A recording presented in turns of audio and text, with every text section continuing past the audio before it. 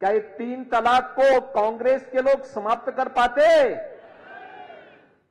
और ये सपना तो सरदेव बाला साहब ठाकरे जी का भी था।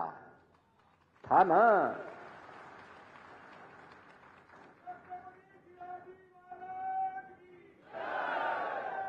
आखिर छत्रपति शिवाजी महाराज का हिंदवी स्वराज तो यही था ना जो आज देखने को मिल रहा है।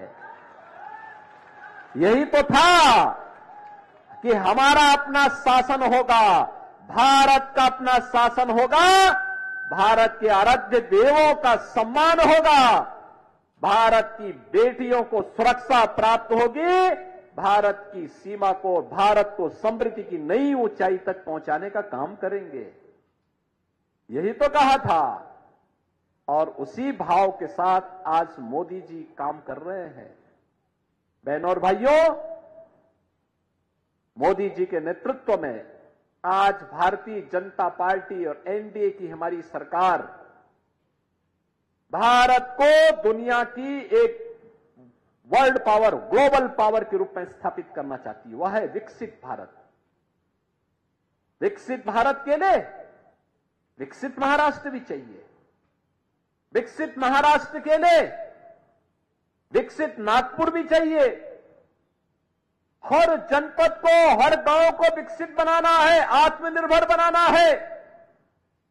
और इसके लिए सबसे सशक्त माध्यम कोई बनेगा तो सरकार बनेगी सरकार। नेता भी होना चाहिए, नीति भी होनी चाहिए और नियत भी होनी चाहिए। क्या विपक्ष के पास नेता है क्या? न नेता है, न नीति है और न नियत ही है। यही स्थिति है ना? और बहनों और भाइयों, हमारी सहमति असहमति हो सकती है। हम लोग, सुबोध जी और मैं दोनों लोग सांसद थे 2019 में भी साथ साथ थे। वे अलग पार्टी से थे, मैं अलग पार्टी से था। और इसीलिए बहनों और भाइयों में आया हूँ।